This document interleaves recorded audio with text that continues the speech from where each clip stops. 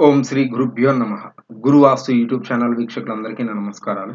ఈరోజు మన టాపిక్ వచ్చేసి గృహ నిర్మాణానికి సంబంధించిన ఆయం యొక్క గణితము. అదేవిధంగా ఆయము ఎటువంటి గృహాలకి లేదంటే ఎటువంటి నిర్మాణాలకి వర్తిస్తుంది ఎటువంటి నిర్మాణాలకి వర్తించదు అనేటువంటి అంశాల గురించి తెలుసుకుందాము.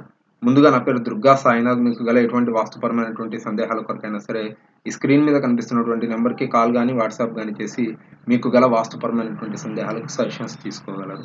అదేవిధంగా నూతన గృహ నిర్మాణాల ప్లాన్ల కొరకు కూడా సంప్రదించగలరు. మా వీడియోస్ మీకు నచ్చినట్లయితే లైక్ చేయండి షేర్ చేయండి సబ్స్క్రైబ్ చేసుకోండి. మీ ఫ్రెండ్స్ అండ్ ఫ్యామిలీ మెంబర్స్కి సజెస్ట్ చేయండి. తద్వారా మీతో పాటు వాళ్ళు కూడా వాస్తుకు సంబంధించినటువంటి సరైన నాలెడ్జ్ తెలుసుకోవడానికి అవకాశం ఉంటుంది. టాపిక్లోకి వెళ్ళిపోతే గృహ ఆయమునకు సంబంధించినటువంటి గణితము. చాలా మంది చాలా రోజులుగా ఎదురు చూస్తున్నటువంటి ఒక టాపిక్ ఇది. దీనికి సంబంధించి ఈరోజు ఈ వీడియోలో కంప్లీట్గా ఆయమునికి సంబంధించినటువంటి క్యాలిక్యులేషన్ గురించి మాత్రమే చూద్దాము. ప్రతి ఒక్క అంశాన్ని క్యాలిక్యులేషన్లో ఉన్నటువంటి ప్రతి ఒక్క అంశానికి సంబంధించి మళ్ళీ మనం మిగిలిన వీడియోలు చేసుకుందాము. ఇప్పుడు మాత్రం ఆయానికి సంబంధించినటువంటి కంప్లీట్గా ఉండేటువంటి గణితం క్యాలిక్యులేషన్ పార్ట్ ఏదైతే ఉంటుందో దానికి సంబంధించి తెలుసుకుందాం.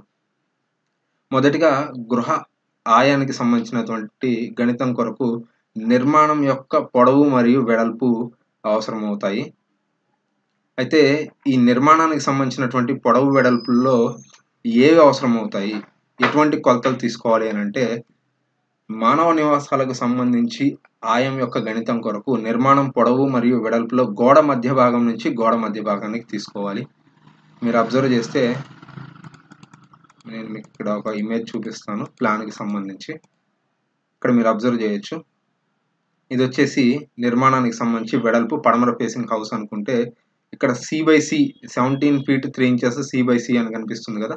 ఇది వచ్చేసి పదిహేడు అడుగుల మూడు అంగుళాలు సెంటర్ బై సెంటర్ ఇది మనకి గోడల మధ్య భాగం కొలత అనమాట మామూలుగా అయితే మనకి గోడ నుంచి గోడలో వచ్చినటువంటి ఉలి లోపల కొలత ఎంత అంటే పదహారు అడుగుల ఆరు అంగుళాలు. కానీ ఇక్కడ మీరు అబ్జర్వ్ చేస్తే ఈ పాయింట్ సెంటర్ బై సెంటర్ వచ్చేసిన పాయింట్ ఏంటంటే పదిహేడు అడుగుల మూడు అంగుళాలు.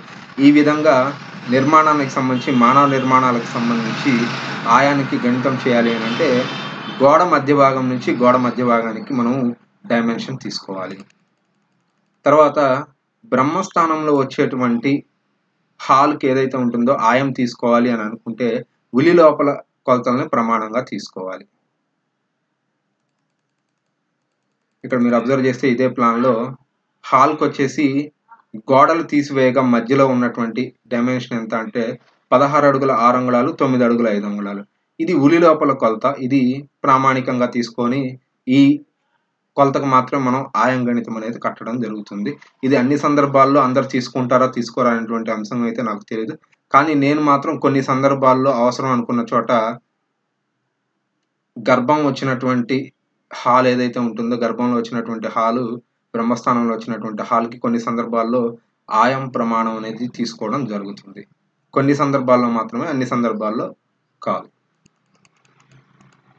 అయితే ఈ ఆయము ఎటువంటి నిర్మాణాలకి పనిచేస్తుంది ఎటువంటి నిర్మాణాలకి పనిచేయదు జనరల్గా ఏదైనా సరే నిర్మాణం వాస్తుశాస్త్ర ప్రకారం చిత్రము లేదా దీర్ఘ చతురస్రము ఉన్నటువంటి నిర్మాణాలకు మాత్రమే ఆయం యొక్క గణితము క్యాలిక్యులేషన్ అవన్నీ కూడా పనిచేస్తాయి అలా కాకుండా ఆయం పనిచేయనటువంటి నిర్మాణాలు ఏమైనా ఉంటాయా అంటే ఖచ్చితంగా ఉంటాయి. వృత్తాకార నిర్మాణాలు ఎల్ ఆకారపు నిర్మాణాలు యు ఆకారపు నిర్మాణాలు వై ఆకారపు నిర్మాణాలు ఇటువంటి నిర్మాణాలకి వేటికి కూడా ఆయము పనిచేయదు. మీరు అబ్జర్వ్ చేస్తే ఇది వచ్చేసి వృత్తాకార నిర్మాణం. ఇది వచ్చేసి మోడర్న్ డేస్లో మన ప్రజెంట్ డేస్లో ఏదో కన్స్ట్రక్షన్స్ చేస్తున్నటువంటి వృత్తాకార నిర్మాణం. ఇది మనకి వృత్తాకార నిర్మాణం పంచతో కూడి ఉన్నటువంటి నిర్మాణం. ఇది కూడా మీకు వృత్తాకారపు నిర్మాణం. తర్వాత ఇటువంటి నిర్మాణాలకి ఆయం పనిచేస్తుంది పిల్లర్ పారు తప్పినప్పుడు మాత్రం మళ్ళీ ఆయం పనిచేయదు తర్వాత ఎల్ షేప్డ్ హౌసెస్ ఇవి వచ్చేసి మనకి జనరల్గా అపార్ట్మెంట్స్ ఉండడం జరుగుతుంది. వాటికి కూడా ఆయంతో పని లేదు. తర్వాత నిర్దిష్ట ఆకారం లేనటువంటి గృహాలు ఇటువంటి నిర్మాణాలు ఏవైతే ఉంటాయో వీటికి కూడా ఆయం పనిచేయదు. ఇక్కడ మీరు అబ్జర్వ్ చేస్తే ఇటువంటి నిర్దిష్టమైనటువంటి ప్రమాణం లేనటువంటి నిర్మాణాలకు కూడా ఆయం పనిచేయదు. ఇక్కడ మీరు అబ్జర్వ్ చేయొచ్చు ఈ నిర్మాణానికి సంబంధించి ఇక్కడ ఓపెన్ ప్లేస్ ఇక్కడ ఓపెన్ ప్లేస్ వచ్చింది. కానీ ఇక్కడ వచ్చేసి మనకి పార్ అనేది రావడం జరిగింది. ఇక్కడ పిల్లర్ పారు ఇక్కడ పిల్లర్ పారు రావడం జరిగింది. కాబట్టి ఇటువంటి నిర్మాణానికి ఆయం ఖచ్చితంగా పనిచేస్తుంది. కాకపోతే ఇక్కడ మనం కొన్ని జాగ్రత్తలు అనేవి వాళ్ళకి ఇవ్వడం జరుగుతుంది. దానికి సంబంధించి నేను ఇంకొక ప్రత్యేకమైనటువంటి వీడియో చేయడానికి కూడా ప్రయత్నిస్తాను. తర్వాత ఆయం గణితానికి సంబంధించినటువంటి క్యాలిక్యులేషన్లోకి వెళ్ళిపోదాము. తర్వాత దేవాలయాలకు సంబంధించి ఆయం గణితము నిర్మాణం ఉలి బయట కొలతలు తీసుకోవాలి. కంప్లీట్గా అవుట్ సైడ్ డైమెన్షన్ ఏదైతే ఉంటుందో ఆ డైమెన్షన్ తీసుకోవాలి. తర్వాత మీరు ఎప్పుడైనా సరే మొదటిగా ఆయానికి సంబంధించినటువంటి క్యాలిక్యులేషన్ చేయాలంటే మీకు మొదటిగా అంగుళాలని డెసిమల్స్లోకి మార్చడం రావాలి. ఎందుకు అంటే అందరూ కూడా పంతొమ్మిది అడుగులు ఇరవై అడుగులు ముప్పై అడుగులు ఇట్లా జనరల్గా సరైనటువంటి ఏదైతే మనకి కొలత ఉంటుందో వాటికి సంబంధించి తీసుకోరు. కొంతమంది అంగుళాలు ఎక్కువ తక్కువ కూడా ఉంటూ ఉంటాయి. అయితే జనరల్గా పంతొమ్మిది ఇరవై ముప్పై నలభై ఇట్లా ఎన్ని అడుగులైనా రానివ్వండి మనకి డెసిమల్స్లో ప్రాబ్లం లేదు. కానీ ఎప్పుడైతే పాయింట్ తర్వాత వచ్చేటువంటి అంగుళాలు ఉంటాయో ఈ అంగుళాల్లోకి వచ్చేసరికి డెసిమల్స్కి ప్రాబ్లం అయిపోతుంది.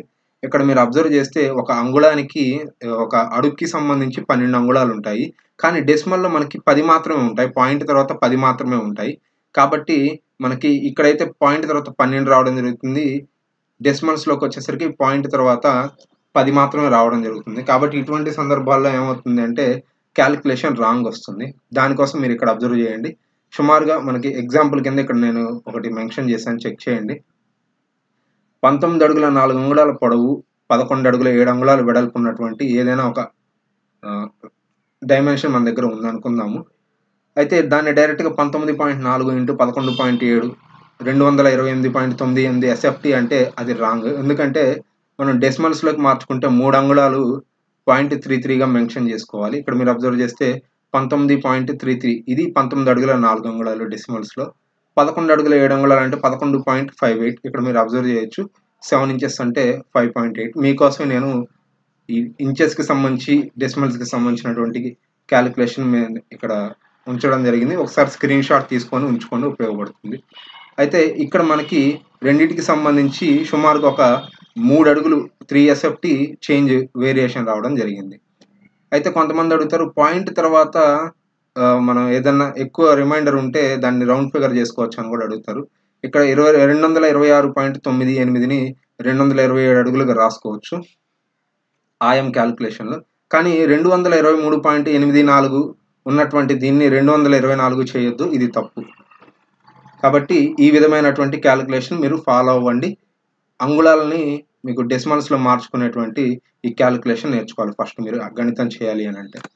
తర్వాత ఆయం గణితానికి సంబంధించి మొట్టమొదటి గణితానికి సంబంధించినటువంటి అంశం ఏదన్నా ఉంటే ఉంది అంటే అది క్షేత్ర పదము లేదా పదము అని చెప్పేసి జనరల్గా వాడుకలో ఉన్నటువంటి ఇది. కాబట్టి క్షేత్ర పదం అయినా సరే పదమైనా సరే అని చెప్పేసి అంటూ ఉంటారు. పొడవు ఇంటూ వెడల్పు డివైడెడ్ బై నైన్ ఇది ఆయం గణితానికి సంబంధించి ప్రప్రదమైనటువంటి ఇంపార్టెంట్ క్యాలిక్యులేషన్ ఇది మన దగ్గర ఫస్ట్ మొదటిగా పెట్టుకోవాలి. దీని తర్వాత మీరు చూస్తున్నటువంటి ఈ పద్దెనిమిది అంశాలకు సంబంధించినటువంటి క్యాలిక్యులేషన్ వీడియో పాస్ చేసి ఈ క్యాలిక్యులేషన్ కూడా ఒకసారి స్క్రీన్ షాట్ తీసుకోండి. మీకు ఉపయోగపడుతుంది.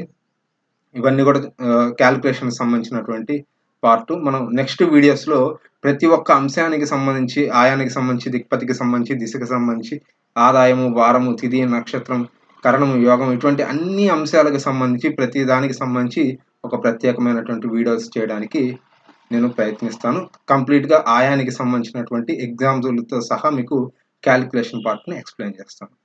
Thank you thank you for watching.